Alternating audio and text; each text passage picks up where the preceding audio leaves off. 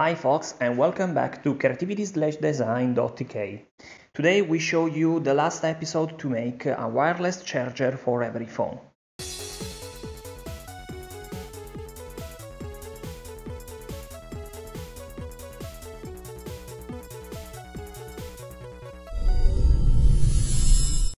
Let's get started with the cutting plane for power and screw holes.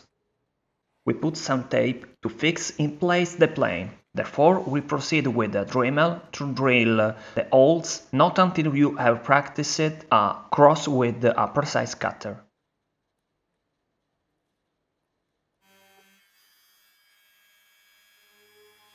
Now we take a full metal screw. To practice a female screw in preview screw holes, you can help yourself with some pliers. Then test the holes for the plastic screw that we have to use in this project.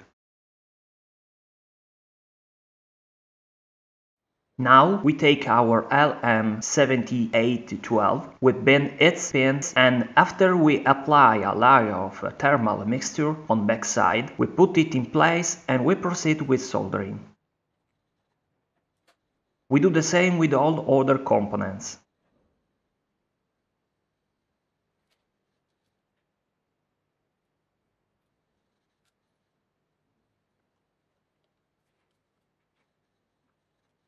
Now we recover our old cutting plane and practice the hole for powers jack on back side of transmitter's case.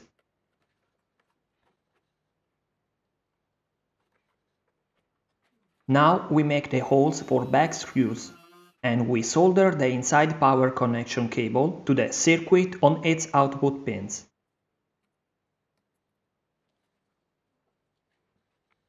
We cut the new cutting plane for bottom side screws and for front side screws.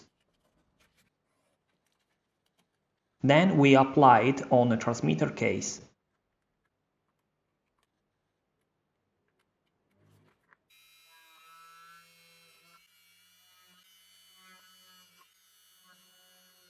Put the circuit on transmitter's case. We fix it with the screws and we seal the screws with some hot glue.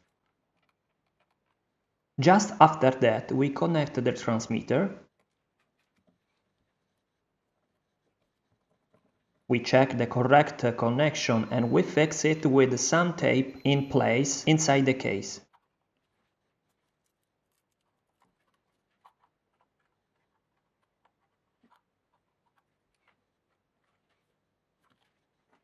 Now we have to create the holes with the last part of plane on front side of case. We take in the Dremel for the last time. Then we can close the case with all screws we talked about.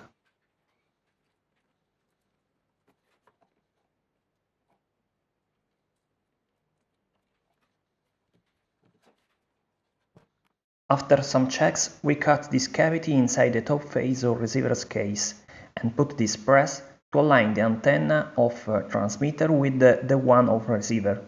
You can use the cutting plane to be sure to do it in place. This is necessary because the heating receiver's antenna cure the top face of transmitter's case and it prevents the correct alignment of coils.